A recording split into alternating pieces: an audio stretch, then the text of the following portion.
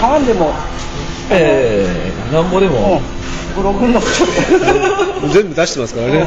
全部出してって言ってるしね。う。ん。でそれをそれで知識つけてつけるのはやるけどそれを実行する方が難しい。その通りですよねみんな。その通り。実行する方が難しい。だから動かせる力ですよね。うん。結局やんないですから。ね。うん。お金が絡むと、本当みんな、あの、楽な方に行っちゃいますからね。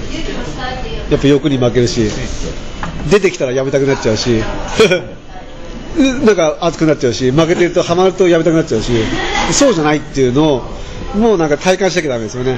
うん。難しい。だそれをわかもう目で見て分かるように、もう期待値を出すしかないですよ。データ取ってね。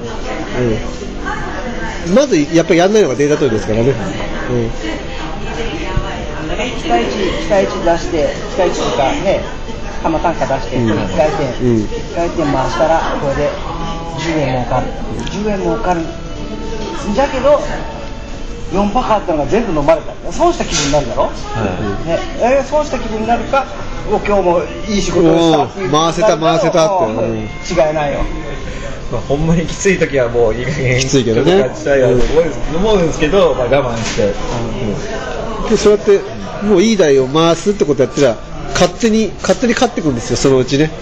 余裕がある時はもう全然もうハマってハマって今日もうハマりっぱなしでいいわって思う時もあるし 結構。最初にねそうあもうもうハマっていいわって、うんあやった。あ今日はもう2000ハマってもいいラッキーみたいなね。楽々みたいな感じですよ本当にそうですよ。2000はきついけど、うん。朝ほら朝からで15年ぐらいしてあもういいやあもう楽ちんだみたいに。まあそれがあるから、うん。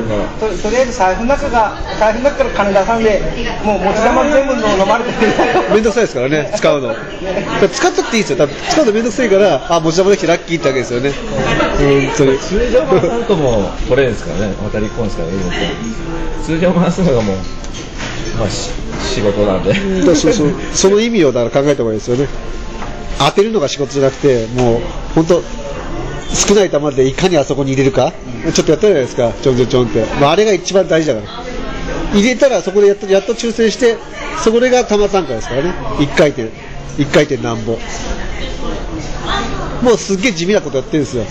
1回転10円を1日2000回転回したら2万円の期待値ってことですからね、うん。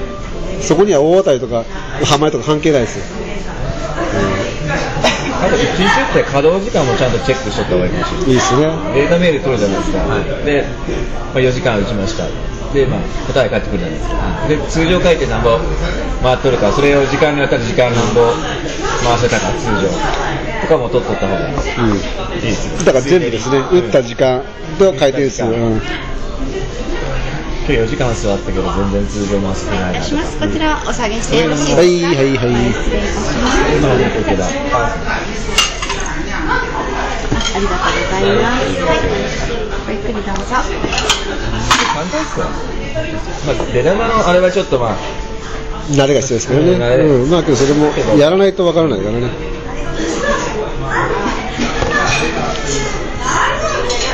簡単結構簡単ですよねまあ、今の現在で、その野島さんにいろいろ指摘されて、まあ、その、その会うまでの自分の気持ちは、ちょっと似てるから、いいやと思ってたんですよ。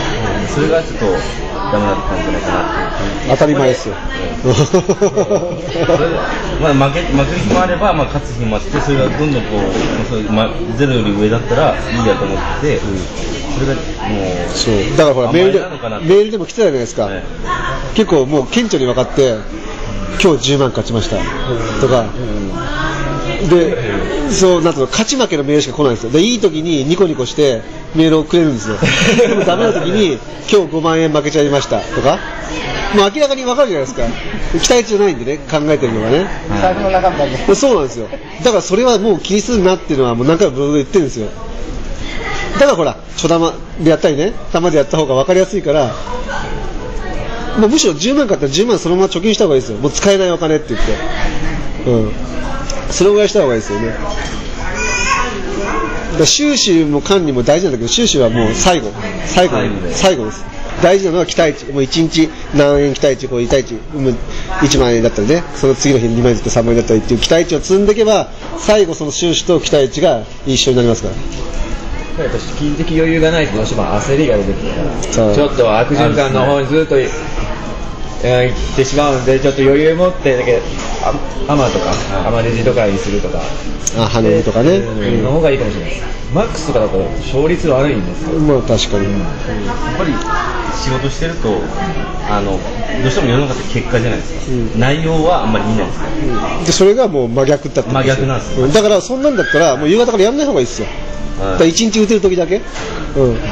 で、それちょっと自信が出たら、夕方からやってみる。だ夕方からだったらもう店回りで帰ってくるとかね。打たずに。で今日ほらいるじゃん。いるから、彼の店まで行ってみて、今日どうなの？みたいな感じで、仕事帰りに。で、見て、それを、ちょっとその釘を見て見させてもらって、ちょっとメモして、例えば自分でシミュレーションして、あのデータベースで打ってみて、それで帰る。で、集計してみる。仮想、仮想期待値うん。彼にデータもらえばいいじゃん。あもらう彼に打ってもらえばいいじゃないですか。データをもらって。うん。で、今度は、そうそう、今度はそれを自分で、一人の時に、休みの日にやってみるってことですよ。うん。どうしても自分で探すと、やっぱまだ迷うからね。しかもほら、その勝ち負け気にするし、はい。うん、嫌じゃないですか、でそれだからまだ打たない方がいいですよ、それだったら、その中途半端な時間にね。でもパチンコへ行ってもいいけど、それは見る見ることを重重視して、見て、あとデータを取ることを重視して、実際ほら勝ってる人がいるから、そのお店に行ってみるってことですよ、その日はね。それ立ち回りひどいですよ結構。やっぱりいろんなラインもどんどん打っていかんとだけどひどいけど最後は見つからないんでなかなか。もう。けどひどいけど最後はほら、ちゃんと座ってるじゃないですか、夕方にはね。まあ帰ってるかもしれないけどね、今日はダメだっつって。僕は当てがない時はもうとりあえずもう試し打ってみるって感じですよ。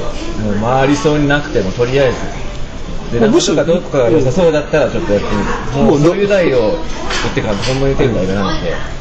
乗っかった方が早いわ、もう本当に、それは。あ、こういう台をやってんね、プロはこういう台をやってんねっていうのを見て、チェックしたらいいですよ。うん。マニアックな台ばっかりやってますからね。でほらそこで少しアドバイス、ね、優しいから多分してくれるから、今日ほらあの海打てるよとかね、ちょっと空いてるよとか多分あアドバイスくれるから、まあ、そのどうしても、どうしてもそのあ世の中を仕事してると、まあ、仕事で数字が上げないと、まあ、英語でも結構どんな当たり前当たり前。当たり前、うん、例えばカンハリの営業行きました。これだけ数字が取れませんでした。でお前何やってんだってなる、当たり前ですよそれは、でも内容をちゃんとパチンコの方は見ないと。いけないだから仕事って同じじゃないですか。内容いいないいい仕事してるからいい給料もらえるんじゃないですか。そうは見見てくれないです。よそんなことないそこにですよ。結果ついてこなかったらあそれ誰も見てくれない。いやそれはわかります、うん、結果の求め方が違う。違うよね。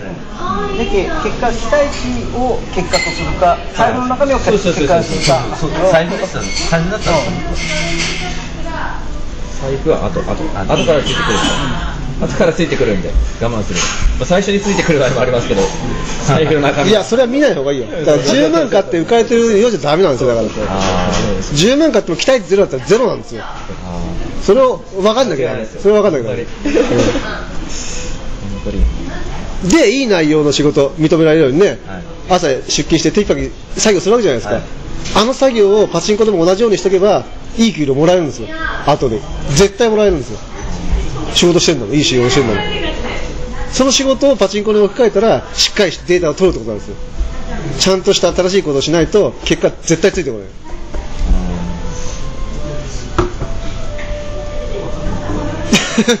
そういうことです。だからまあ、その仕事とそのパチンコっていうのは逆で、まあ、内容を取っていかないと結果がついてこないんですよね。内今は似てますけどね。内容を取れば結果はついてくるんですよ、うん、だ見るべきは結果じゃないの。後からついてくるから、無視。無視。仮想通貨期待値っていう仮想通貨をひたすらかき集める。台から期待値をかき集める。そしたらそれを後で換金してくれるんですよ。お金として。仮想通貨をいっぱい集めなきゃお金はゼロなんですよ。お金くれるから期待値取るわけじゃないんですよ。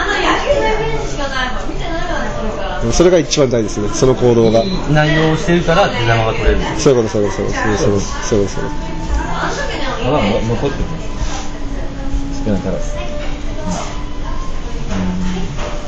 ん。そのためにやっぱりここがある。データ取りを。それほらやっぱり、ね、頭で分かってても、それのやりつつその、ね、行動じゃないけどね、パチンコと行動して、それが結果で体感できなきゃもう理解できないよ、それも。やっぱほら、結局お金欲しいし、負けたら悔しいし、それだったらもう他の一般人と同じってこと？うん、同じ。もう凡人ですよ。負け組の養分ですよ。そうなんですよ。いい言葉だ